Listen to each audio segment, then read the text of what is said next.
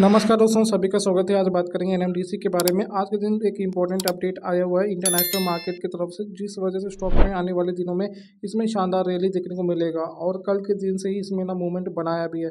कल जो होता है जिक्स निफ्टी के अंदर जो है पाँच परसेंट का ना आयरन ओर का प्राइसेस बढ़ा, जिसका फ़ायदा किसको होगा? एनएमडीसी कंपनी और एनएमडीसी के शेयर्स को होगा। और आज के दिन भी एक इंपॉर्टेंट अपडेट आया हुआ है, जो कि चाइना की तरफ़ से ना आयरन ओर की प्राइसेस बढ़ रही है और वहाँ पर डिमांड बहुत ही ज़्यादा है। तो सप्लाई कौन कर सकते थे? आजू बाजू के देश ही कर सकते जिनको फ़ायदा मिलेगा। तो यहाँ पर हमारे पास एक अच्छा सपोर्ट लेवल जो है, दो सौ का है, जो कि कई बार मार्केट ने रेस्पेक्ट किया है। और देखिए, यहाँ पे एक बार यहाँ पे इलेक्शन के टाइम पे रेस्पेक्ट करके अपसाइड भेजा था, फिर पहले भी अपसाइड दिया था तो बहुत ही अच्छा सपोर्ट लेवल दो सौ चालीस चालीस रुपये का है।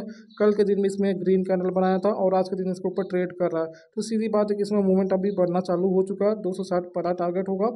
दूसरा टारगेट जो रहेगा, दो सौ अस्सी रुपये का रहेगा।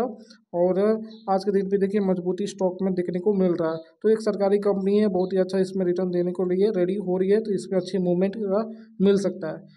तो पहला टारगेट दो सौ साठ, दूसरा टारगेट दो सौ अस्सी रुपये का। सारे कंडीशंस मैंने बताए हैं। चैनल पहली बार आया तो सब्सक्राइब करके जाना। बाई साल कोई नहीं है। जय हिंद।